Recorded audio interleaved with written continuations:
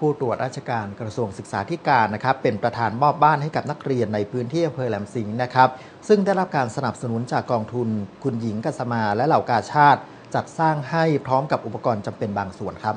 ที่บ้านเลขที่1ทับ13 หมู่ที่ 13 บ้านท่าเขาตำบลปากน้ำแหลมสิงห์อำเภอแหลมสิงห์จังหวัดจันทบุรีนายเสน่ห์ขาวโต ผู้ตรวจราชการกระทรวงศึกษาธิการ ได้มาเป็นประธานในพิธีมอบบ้าน ให้แก่นางสาวสุกัญญาฉายแสง นักเรียนชั้นมัธยมศึกษาปีที่ 6 ทับหนึ่ง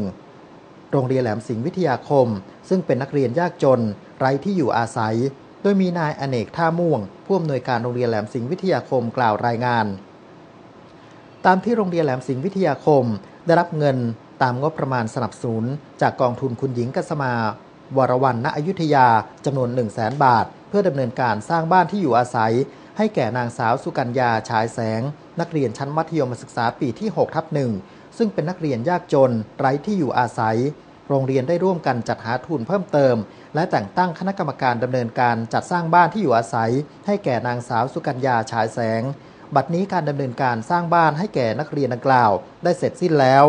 หลังจากที่ได้ระดมทุน เพิ่มเติมจำนวน 15,500 บาท โดยได้รับจากมูลนิธิ ตั้งเซ็กกิม 4,000 บาท ทุนไหว้ครูปีการศึกษา 2554 จำนวน 1,500 บาท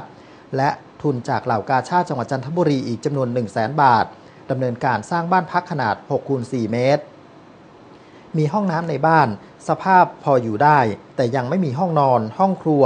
และรวมทั้งไม่มีระบบไฟฟ้า ส่วนน้ำดื่มน้ำใช้ ได้รับความช่วยเหลือจากทางเทศบาลตำบลปากน้ำแหลมสิงห์